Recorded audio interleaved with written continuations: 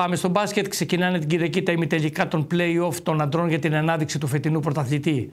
Τα ζευγάρια της φάσης είναι Αρισβαίο Έολος και Παπάδος Παλαισβιακός.